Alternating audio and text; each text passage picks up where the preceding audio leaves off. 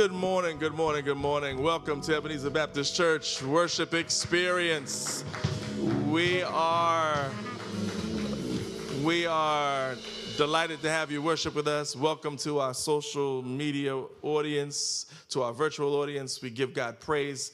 We hope that you have had a good week this week, and we are glad to have you worship with us today. This is the day which the Lord has made and we ought to rejoice. We ought to rejoice and be glad in it. Amen. Amen. Amen. Surely this is none other than the house of the Lord. Let everything that have breath praise ye the Lord. Amen. If you have breath this morning, praise the Lord. If you're thankful, praise the Lord. If you're happy, praise the Lord. If you got company in your house, praise the Lord give God some praise today for all that the Lord has done. Amen. Amen. We got a good crowd here in worship today. Good to see all the Ebenezer folks and uh, coming to give God our best praise. Let's keep everybody lifted up in prayer today as we move forward in our worship service. Keep the Brown family in prayer today. They're traveling on their way to Maryland uh, to uh, to uh, to a funeral, and uh, let's keep everyone lifted up, lifted up in prayer today. Sister Bernice Pollard and uh, and Sister Annie Walltower celebrating a birthday today, I believe. We want to give her God praise for her. I think she's 102 or 103. 103. And so she's our oldest member in the church. And uh, I always told y'all if you drink the water at Ebenezer, I guarantee you, you'll get old. Amen. You drink the water, you'll be old and healthy and strong. If you drink the water at Ebenezer. I'm telling you, you will age gracefully in the kingdom of God. So we praise God for uh, her birthday today and for those who will celebrate. Um, also, uh, let us just remember that we want to just be, keep everyone really lifted up in prayer, cover each other. Uh, there's a lot of prayer concerns, too many to list, but cover each other. Uh, be a prayer partner for somebody uh, and cover each other in prayer. A lot of sickness. Make sure that uh, the effectual prayers of the righteous, the Bible says, availeth much. Amen. So keep praying. Keep the prayer wheel turning. Come on, tell somebody next to you, keep the prayer wheel turning. Come on, say it one more time. Keep the prayer wheel turning. Amen. Amen. Amen. I want to have a great worship experience today. I just want to have church today and just enjoy the goodness of God in the land of the living and enjoy uh, the, the move of the Spirit. I want to thank God for our musical band today and thank Kyle for. Amen. Amen. And uh, today, the, the morning preacher today is none other than our own uh, minister, Sam Campbell, will bring the word today. And and he's going to bless us. It is good to see uh, Reverend Randy Copeland. He's not preaching, but he's here. And uh, good to see him. Good, good to see him in the fellowship. Amen. Amen. Amen. Amen. So let me ask uh, Reverend Copeland to come and to bless us with a word of prayer. And uh, then we'll move right into uh, praise and worship, a couple of selections, and then we'll have the word today. Amen.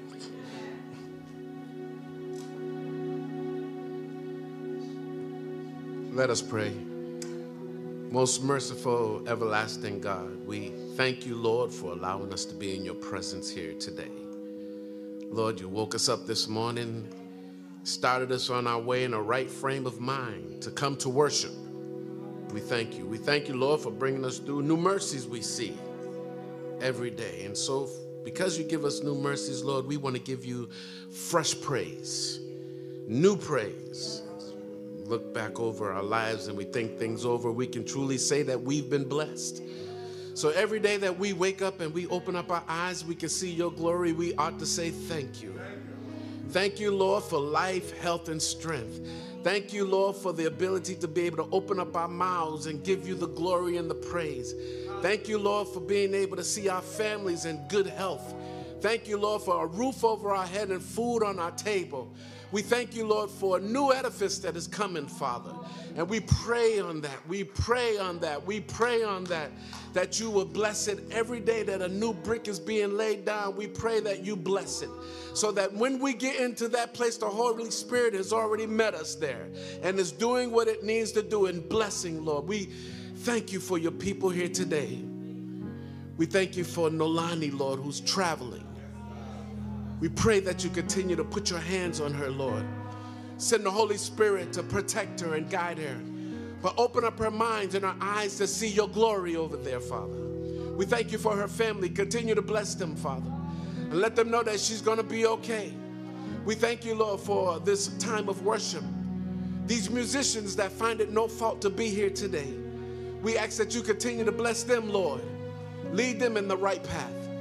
And then we thank you for your people, Father that find it no fault to come here and say, Thank you, Lord, because you, they know what you're doing for them. And so that because they know that what you're doing for them, they give you the glory and the honor and the praise. We thank you for this pastor, this pastor that has a vision, Father. I pray that you continue to lead him and guide him in the direction that you want him to go in. Keep him on the right path, Father. We pray that in order for him to be on the right path, that you bless his family. Bless his mother, Father. Continue to heal her, Lord. No weapons formed against her shall prosper. The enemy has no power over her. So we thank you, Lord, for healing her, building her up on every leaning side.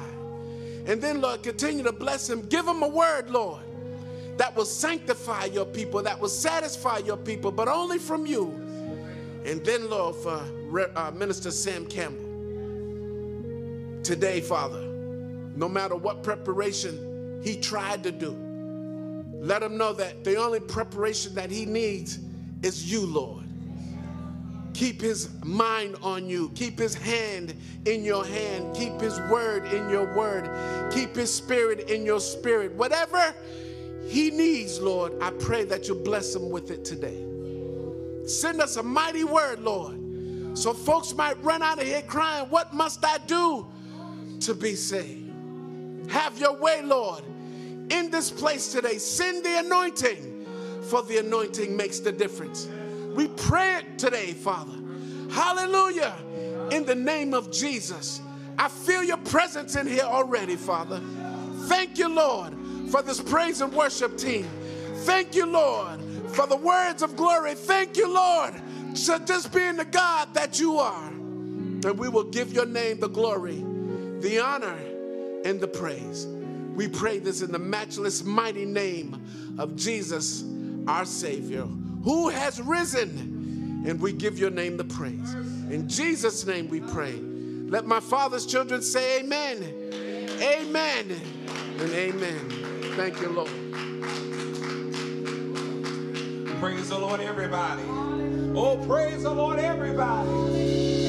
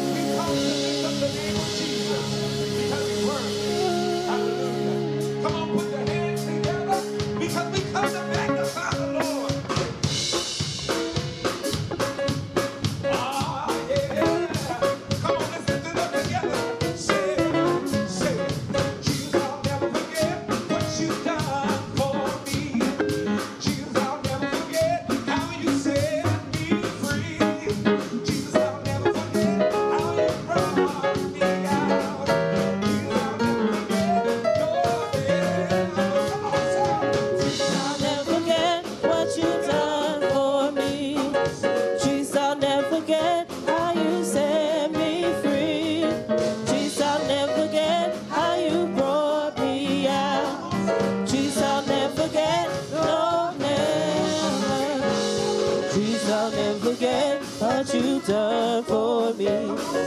Jesus, I'll never forget how you set me free. Jesus, I'll never forget how you brought me out. Jesus, I'll never forget, no, never. How could I forget what you've done for me? How could I forget how you set me free? How could I forget how you brought me out? How could I forget?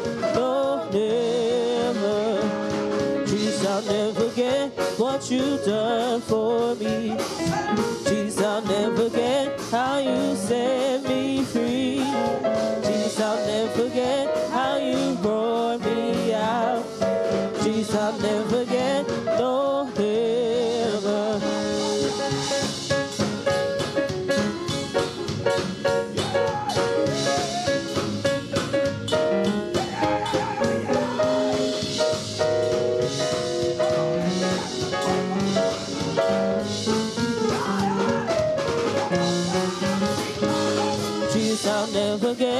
what you've done for me. Jesus, I'll never forget how you set me free. Jesus, I'll never forget how you brought me out. Jesus, I'll never forget, no, never.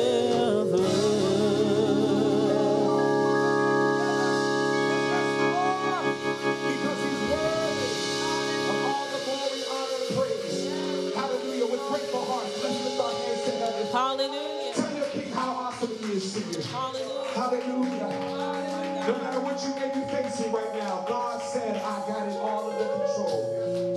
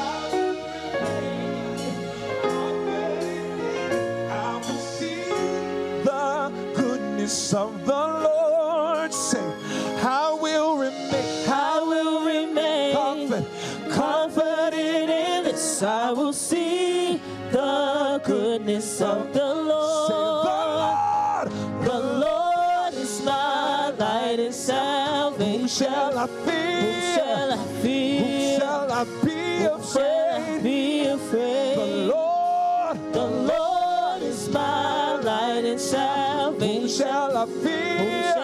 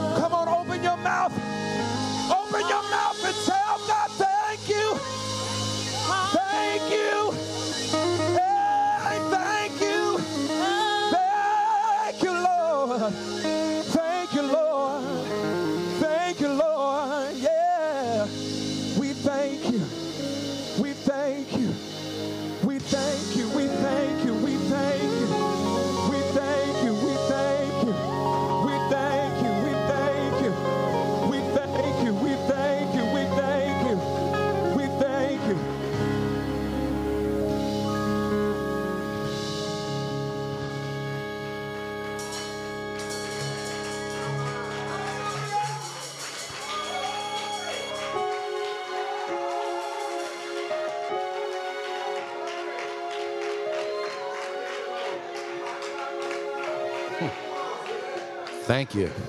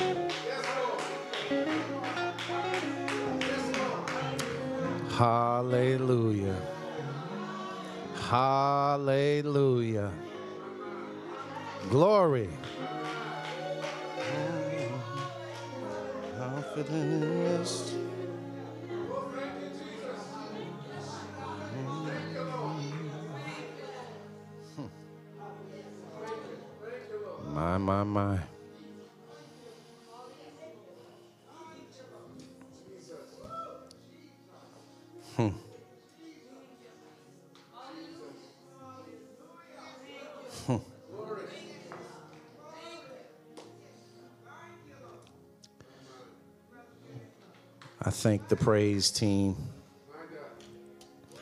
for ushering in the spirit this morning.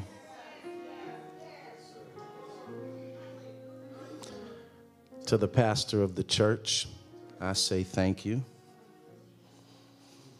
Every young preacher wants to preach a good sermon, want to please God, want to give our best to God but we also somewhere deep down inside we want to impress our pastor our mentors. So my pastor just asked me he said what scripture are you coming from today? I said i'm coming from the 23rd psalm. He said the whole 23rd psalm? So y'all pray for me just one more time as I attempt to preach this word.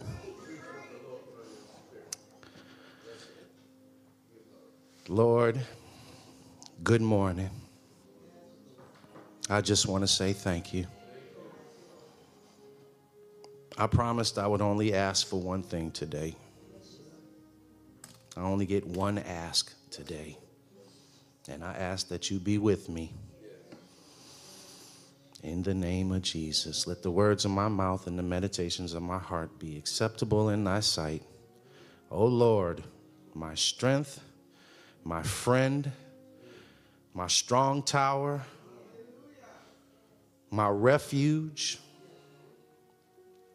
my God, and my Redeemer. In Jesus' name, amen. Amen. The 23rd Psalm. The Lord is my shepherd, and I shall not want. He maketh me to lie down in green pastures. He leadeth me beside the still waters. He restoreth my soul. He leadeth me in the paths of righteousness for his name's sake. Yea, though I walk through the valley of the shadow of death, I will fear no evil, for thou art with me. Thy rod and thy staff, they comfort me. Thou preparest a table before me in the presence of mine enemies. Thou anointest my head with oil, my cup runneth over. Surely goodness and mercy shall follow me all the days of my life, and I will dwell in the house of the Lord forever. The word of God for the people of God. You may be seated. Today's sermon title is Trust God's Process.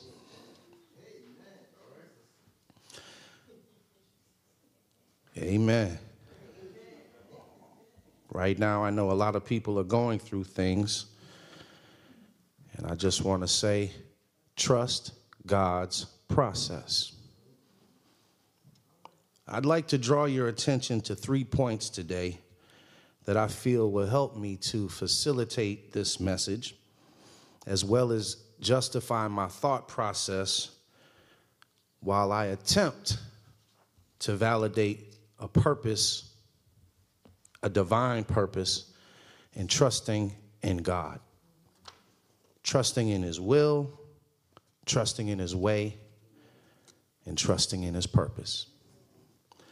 The first point will be for us to recognize in order to get ahead, we have to get past our trust issues. The second will be the importance of the role of the shepherd and his job in helping to create trust in us. And finally, that we should rejoice in our trust of God because of the various ways that he supports, nurtures, protects, and blesses us each and every day. Has anyone ever heard the phrase, you just have to trust the process? Well, that's really easy to say, but extremely hard to do. First of all, trusting the process would entail trusting that everything will work out in your favor, even though you can't see the final outcome. Trusting the process also entails trusting that while the process is happening, things in your life will stay in the balance.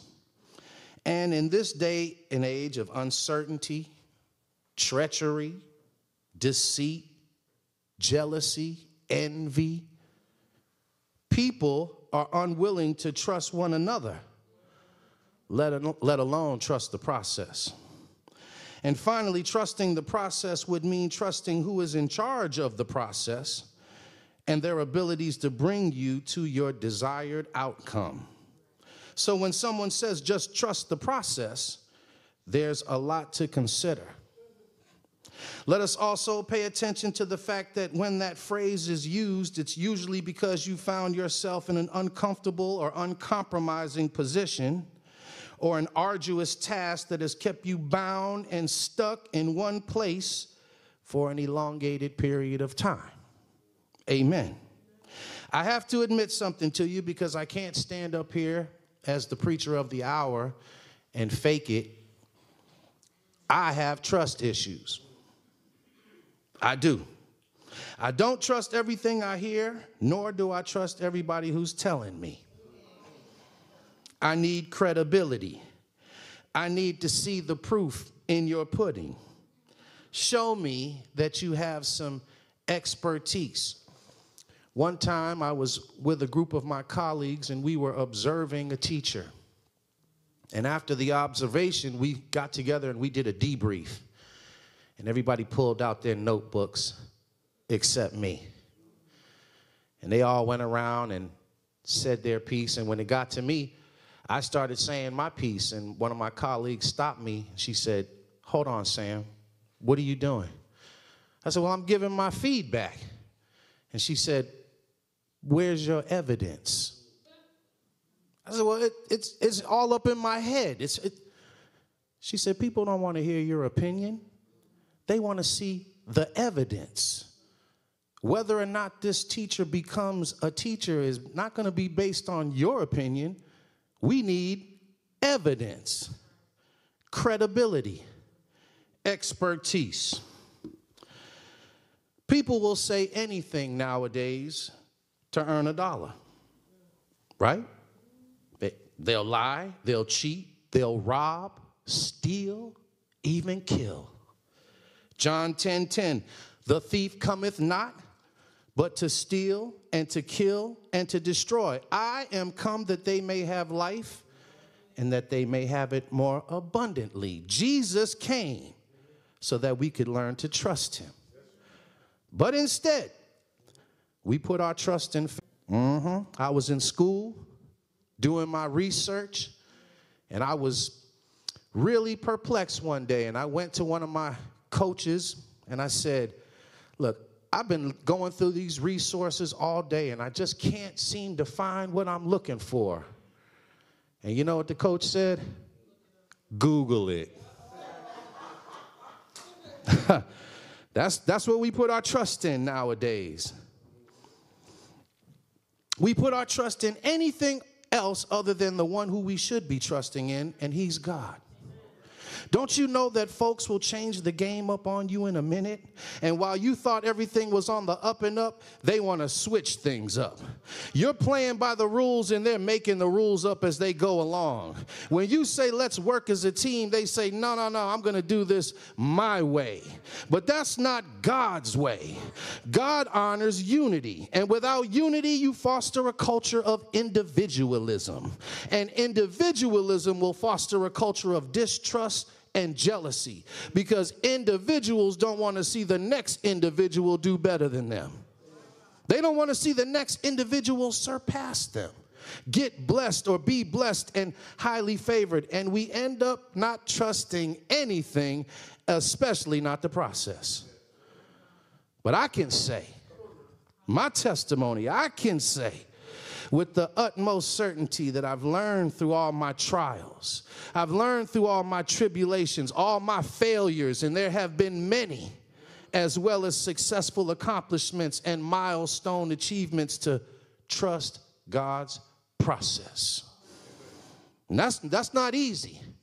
That wasn't an easy road for me to get to that. I had to go through some things before I could start really trusting God's process. God's process has kept me all my life, just like He's kept you all your life. God's process is what brought me to Boston, Massachusetts. God's process brought me to those kids and those children and families down there at the Dudley Street Neighborhood Charter School. God's process brought me to Ebenezer Baptist Church and Pastor Thompson. I never thought I'd become a deacon. I never thought I'd become a minister.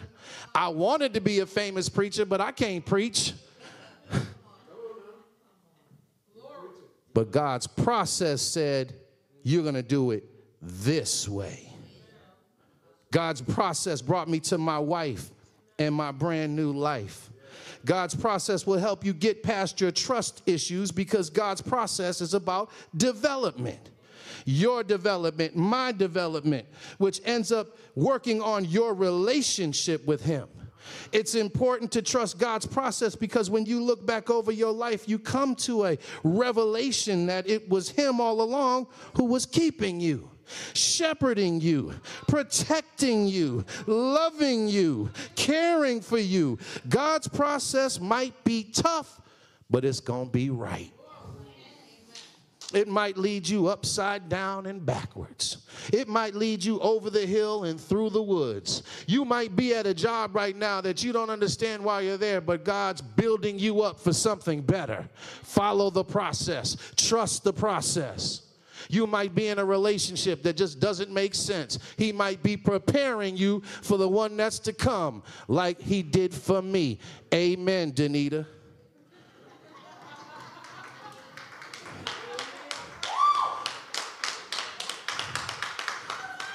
Hey, I'm a living testimony. As we go through life and its many levels and changes and experience, we can rest assured of two things there will be good times and there will be bad times. There will be times when the harvest is plenty, and there will be times when the harvest is few. There'll be some mountaintop moments as well as some valley moments. Anyone ever have any valley moments? Find yourself in the valley? Yesterday, everything was fine. Today, you wake up and you're in the valley. I have. Excuse me. Pastor said if you drink some of the water from Ebenezer, you're going to live long.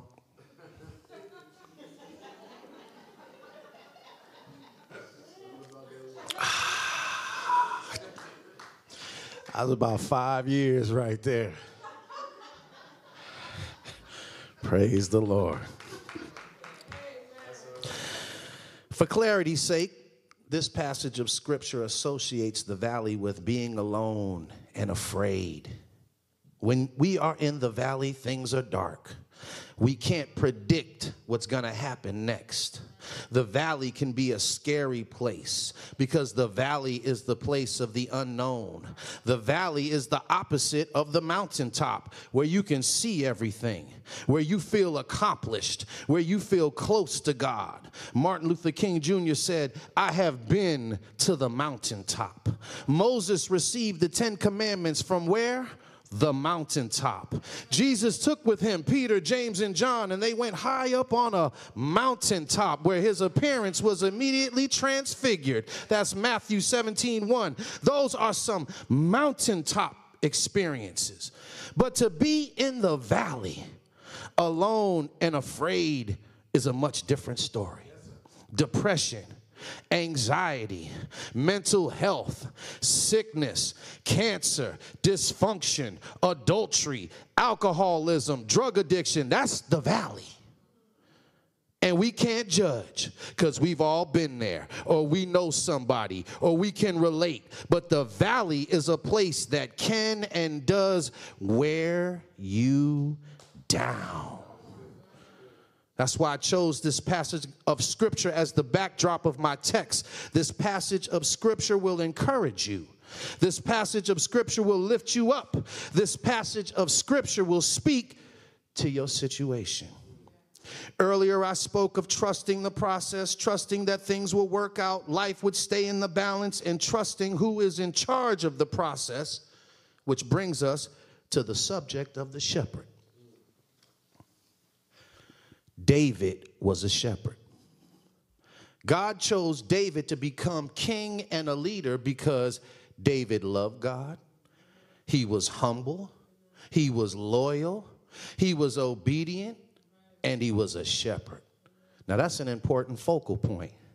It is reported that the 23rd Psalm was written before David was king, when he was just a shepherd boy tending the flock writing and singing songs and poems and doing what he did best serving, making sure that the flock is fed, watching out for the enemy, leading the sheep to safe places, going above and beyond to satisfy and please, giving of oneself, sacrificing both personal and family time, shepherding.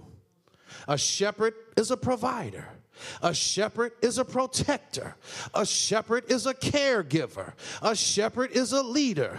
A shepherd is trustworthy. I thank God today for all of our pastors and spiritual leaders as you are our shepherds here on earth today. And the Lord knows we need more shepherds now than we ever did. The 23rd Psalm is a psalm that tells of a shepherd our shepherd, our Lord and Savior, Jesus Christ. That's my shepherd. And we ought to trust him because after all David went through, which was he went from shepherd to armor bearer, armor bearer to king's musician, king's musician to the soldier who slayed Goliath. Then he was accepted and respected as a soldier. Then he became a famous soldier. Then on to a famous soldier who was on the run. And after that, he became king. Why? Because he trusted God. And had he not trusted God's process, disaster would have surely followed. What if he had done like you and I would have done and said, No, no, no, no, I'm gonna do this my way? What if he would have listened to the crowd? What if he would have ignored God's voice? What if he would have let self importance guide his thinking? Don't you know the crowd loves me? I'm the most popular. Saul has killed thousands, but I have killed tens of thousands. self indulgence, or self exaltation will never get you into the kingdom. God wants you to glorify Him first, then He'll exalt you. The Bible says in Matthew 23 12, and whosoever shall exalt himself shall be abased, and that he shall humble him, he that humble himself shall be exalted. David was humble, so he got exalted. Trust God's process. He won't lead you astray. He won't let you down. He won't leave you alone. He won't have you without. He loves you. He loves me. He's our shepherd. And it's because of that undying love, commitment, dedication, discernment, and decision making that He instills the trust in us. And we listen and we follow. John 10, 2 through 4 says, The one who enters by the gate is the shepherd of the sheep. The gatekeeper opens the gate for him, and the sheep listen to his voice. He calls his own sheep by name and leads them out. When he has brought out all his own, he goes on ahead of them, and his sheep follow him because they know his voice. Trust God's process. Listen for his voice. Now I'm almost done. Let me tell you why we should rejoice in our trust of God's process. Let's go back to the scripture, and then I'm going to take my seat. The Lord is my shepherd, and I shall not want. Trust God's process. I like what the NIV version says. It says, The Lord is my shepherd, and I lack nothing. You trust God's process, and He's going to tend to you. The shepherd's going to care for you. The shepherd's going to lead you to safe places. The shepherd's going to be there with you in the midnight hour. You shall not want, you'll lack nothing. He maketh me to lie down in green pastures, He leadeth me beside the still waters. Did you know? That there's a landmass right now that we call the Middle East but it used to be called Mesopotamia. Yes, Mesopotamia was surrounded by two rivers, the Tigris and the Euphrates. And while these two rivers were there to supply water to that region of land, they were known to flood. Now, these floods were both uncontrollable as well as unpredictable, and most of the time ended up in catastrophe because they would wash away entire settlements, villages, and budding civilizations before they even had a chance to even build or cultivate, killing hundreds at a time. But that's not the type of waters God is trying to lead you to. Now, you know, we're not talking about real water. We're talking about metaphorically situations that happen in your life, situations that could be considered like floods that come and just wash away everything you're trying to build. Uh uh-uh. uh. God's not trying to lead you to those type of waters. God's trying to lead you to still waters. Amen. Amen. He wants to put some peace in your life. He wants to put some tranquility in your life. He wants to put some satisfaction in your life. Still waters to me represents stability. He wants to put some stability in your life, and with stability comes a greater quality of life. Come on now, still waters, green pastures. Trust God's process because at the end of the day, when you get tired, when you're ready to give up, when you can't do no more with your children, where that job is just worn you down, God's gonna restore your soul. Come on now, somebody. I don't know about you, but I need God to restore my soul.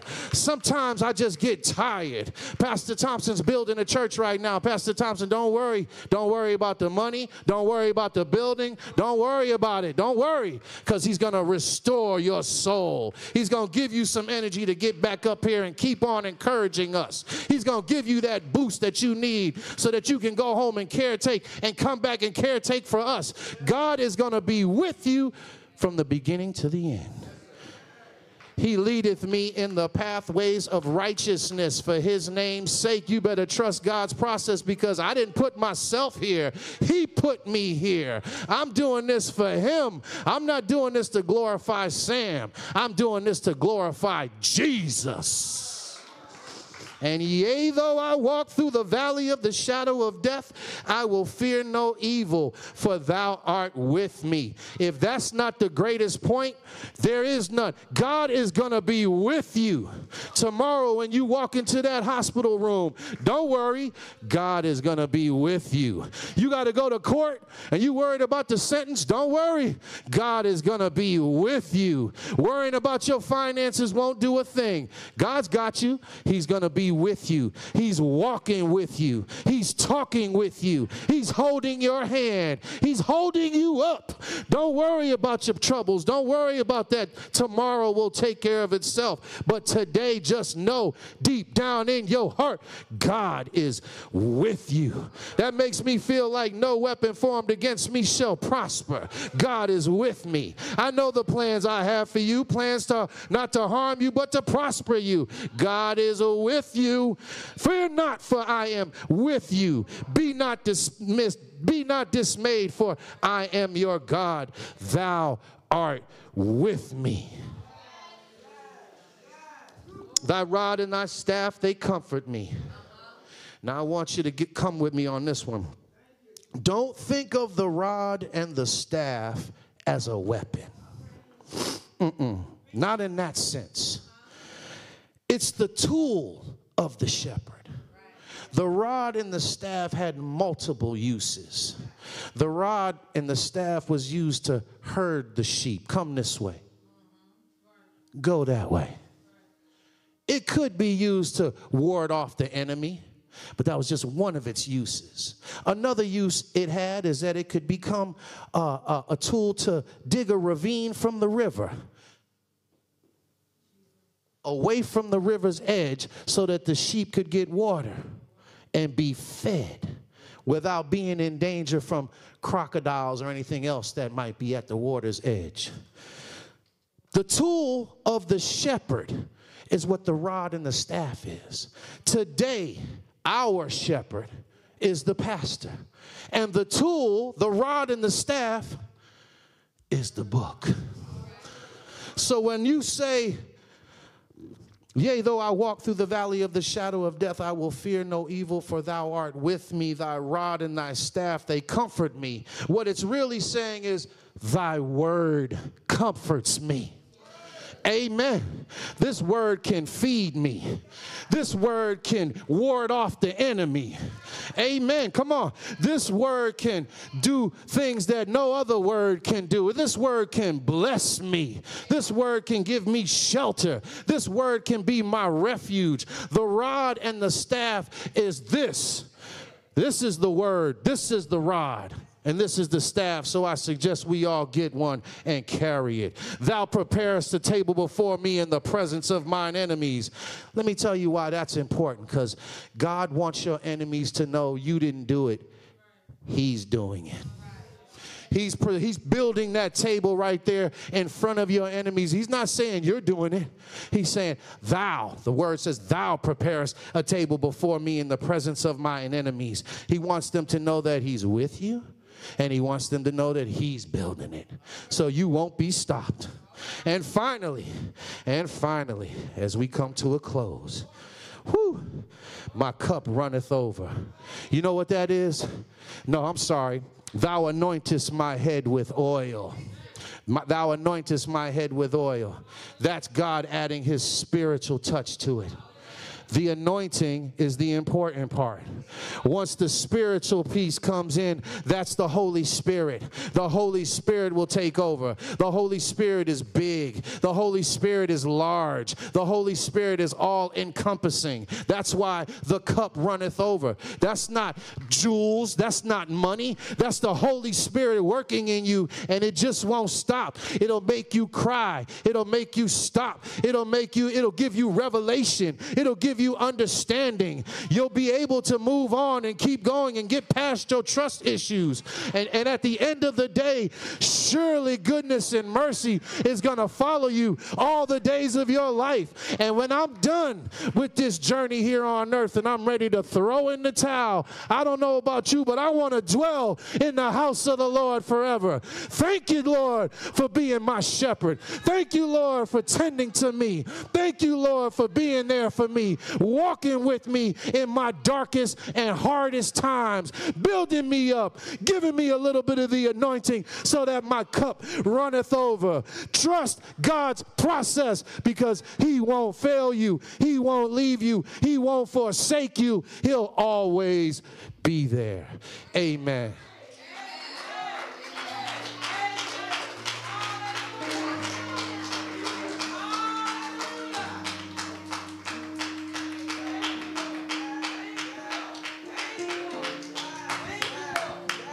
We have been told to trust God's process. No matter what you're going through in life, no matter where you're at in your life, trust God's process. And I can guarantee you, if you trust in God's process, God will bring you out. God would make you safe. God will give you comfort. God will be God in your life. We want to open up the doors of the church today for anybody that is having problems following God's process prayers there for you if you can't follow God's process. We open up the doors for you to come and give your life to Christ. If there's anybody here that has not committed themselves to the Lord, this is the time to do it. And if you're standing in the need of prayer, we can never close a worship service without prayer. We can never close a worship service without offering prayer to somebody that might be standing in the need of prayer. I don't care if you're a member of the church, I don't care if you're not a member, I don't care if you haven't given your life to Christ, or if you have. We always need prayer. If you're having problems following the process, and don't be ashamed of that, everybody falls short. But God is a forgiving God, and he, all we have to do is ask for His forgiveness. If there's anybody that stands in the need of prayer, we open up the altar for you right now. Come give me your hand, but give God your heart. Amen.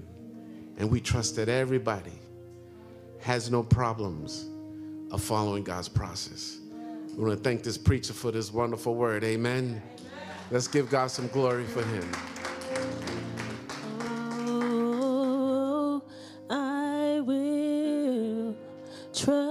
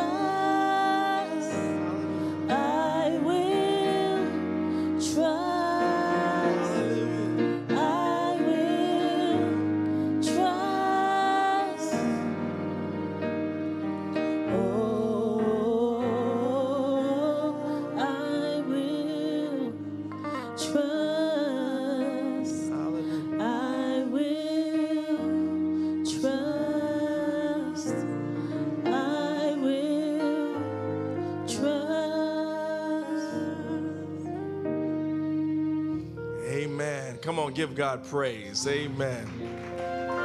Amen. Amen. Amen. Amen. If you just need a special prayer today, if you need a special prayer just before we go, if you need God to speak to your life, and you need a special prayer today, just come on forward real quick. If you need special prayer today, come on forward. Whoever you are today, you need a special prayer. You need a special prayer today. Come on forward.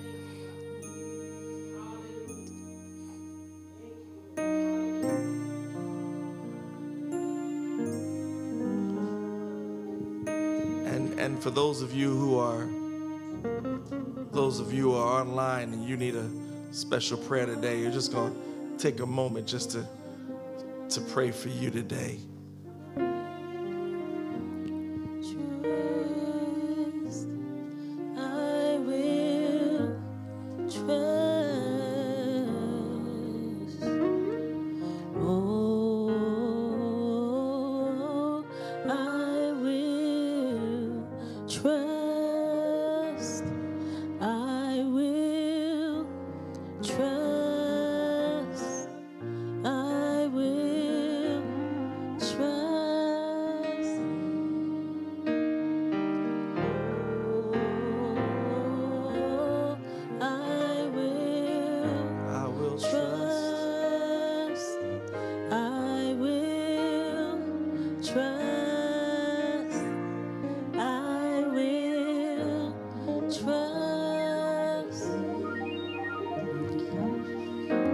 Hallelujah. God our Father, we were instructed today through your word to trust the process. And oh God, there are many folks in the kingdom of God who are having doubts and having some questions. There's some folks in the kingdom of God who are wondering if I can trust the process. Oh God, there are some things that are going on in individuals' lives that are stressing, that are causing folks to get weary in the battle. There's some folks that are going through some storms right now, going through some death, going through some bereavement, going through some grief, going through some sorrow. There's some folks that are going through some seasons of transition. There's some folks right now who are going through seasons of depression, seasons of loneliness, seasons of stress and weight and burden and some seasons, God, of transition. But God, today we're believing by faith that wherever you are in the body of Christ, wherever you are in your transition, God, we are going to trust you. We're going to believe in you that you are going to bring all things to pass. Hallelujah. You're going to help everyone to get through their situation. How, God, we pray today, God, that whatever someone is struggling with today, that you will help them to realize that, God, you are still there. You are still there with a hand held out for somebody to reach out and touch that hand to get through their situation. Oh, God, we're praying, God, for some folks right now who are seriously under the battle of oppression, the battle of the storm, the battle of sickness, looking to recover. And God, we believe by faith today, when everything else fails, when there's nothing else we can do, when everything else gives way, we believe by faith today that we can put it all in your hands. And when we put everything in your hands, you can turn little into much. And so, God, we pray today by faith today that every single one of us will have the decision making skill set to put it all in your hands. Now, God, we're shifting our stress right now. We're shifting our weight right now. We're shifting our issues right now. We're shifting our concerns right now. Right now, we're shifting. We're shifting all of our worries and we're putting it all in your hands, trusting you, God, to take us through and to bring us out. Now, God, anoint us right now. Anoint your children right now. I want you, oh God, to go name by name and house by house on the membership roll and anoint that house. Anoint that person in that house right now. God, I want you to anoint your children today.